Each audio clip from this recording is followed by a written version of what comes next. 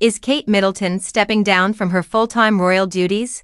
Given that the Princess of Wales disclosed her cancer diagnosis in March of this year, Princess Kate's 2024 has been characterized by unforeseen difficulties.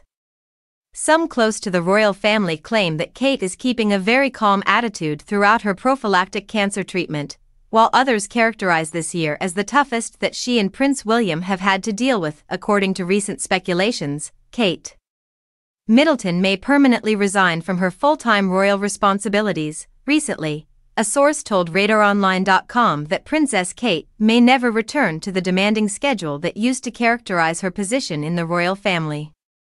According to this source, when Kate finishes her therapy, she will probably re-evaluate her role and the scope of her obligations, echoing similar feelings. Journalist Dan Wootton observed that Catherine is still very sick, is undergoing chemotherapy, and Although she is very aware of her role, her priorities have understandably changed significantly.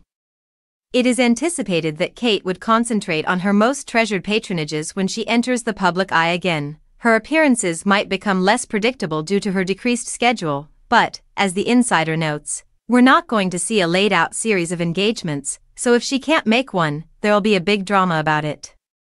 Kate will always be an important member of the royal family, even if her position might change. Kate's future as Queen was highlighted by renowned BBC royal journalist Jennie Bond in an interview with OK magazine, with Bond highlighting Kate's readiness for the post. Bond said, I think you have to be quite tough to survive and thrive in the royal family.